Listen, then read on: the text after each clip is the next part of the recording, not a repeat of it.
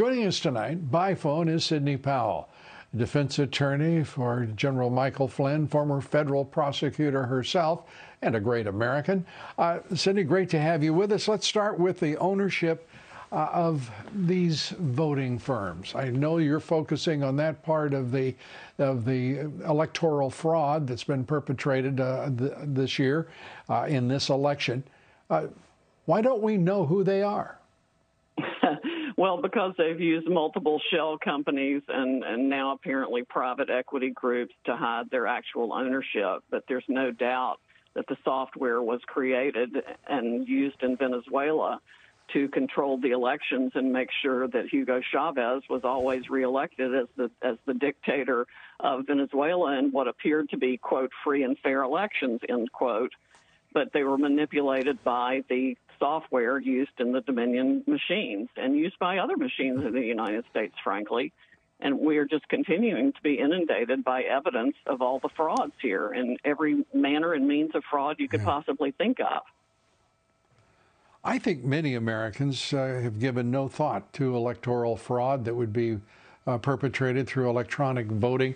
That is, these machines, these electronic voting companies, uh, including Dominion, uh, prominently Dominion, at least in the suspicions of uh, a, a, lot of Americans. we don't even know who has actually seen this software work. Uh, we don't know where their servers are for sure. We know a couple of them are overseas, uh, and by overseas I mean in Germany and Spain. Uh, it's just stunning that we have progressed this far with these companies and have permitted these entities that we don't know what their ownership is. We don't know uh, what their possible bias is. Uh, how could this be? Because of all the corruption in the country, we need to find a way to follow the money back as far even as when this was approved by the special government committee called CFIUS, S-C-F-I-U-S, which are the heads of the mm-hmm. respective agencies at the time who approved Dominion mm-hmm. coming into the country and running our elections. And I mean, Carolyn Maloney and uh, Klobuchar and Warren have been raising Cain about this issue for a, a long time. Right. But nobody's done anything as, about uh, it. And as last year. Yeah, and as best I can tell, both parties have any number of people who are at fault in the fact this has continued to play right. any role in our elections whatsoever, and we have no idea of who all has benefited from it. Somebody needs to do a massive I... money uh, following investigation to find out who paid what to whom. Well, you have promised a, a, a, a Kraken uh, will be unleashed.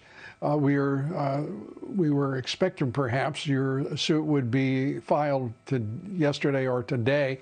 When shall we expect the, your lawsuit?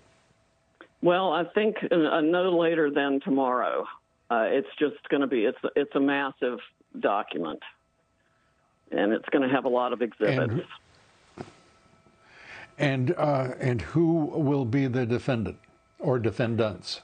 Uh, the defendants are going to be folks in Georgia who are responsible for uh, supposedly making sure the elections in Georgia are done properly. And there are just countless incidents of voter fraud and election fraud writ large in Georgia. In Georgia, are you planning any other suits beyond Georgia?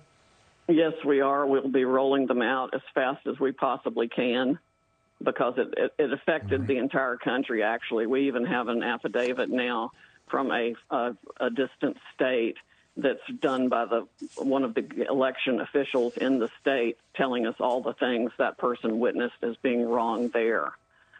So it, it was it was nationwide. Well, the the number of affidavits is voluminous now. The eyewitnesses are considerable.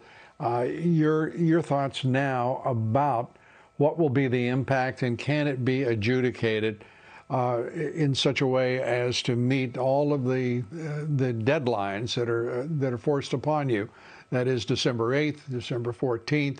Uh, give us your sense of the timing and the urgency of of getting this to resolution. Yes, well, obviously it couldn't be more urgent. But yes, the time deadlines should be able to be met, and the evidence is so overwhelming. It's almost as though they they were so blatant about it. They expected us to catch it, and you know maybe it's a diversion from something else that's going on. I don't know, but it's also clear that there was foreign intrusion into our voting systems, and that's going to be the real where the rubber meets the road.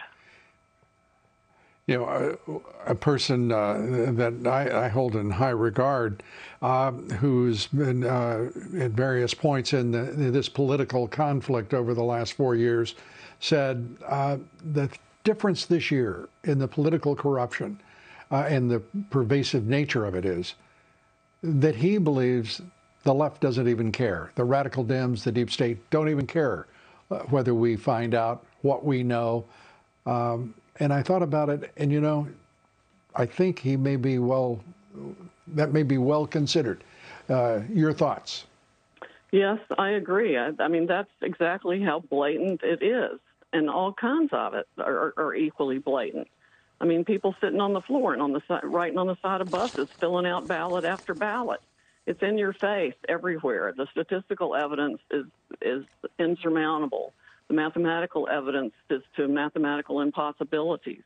There's no way there was anything but widespread election fraud here. We've got one witness that says in Arizona, at least, there were 35,000 votes added to every Democratic candidate just to start their voting off. It's like getting your $500 of monopoly money to begin with when you haven't done anything.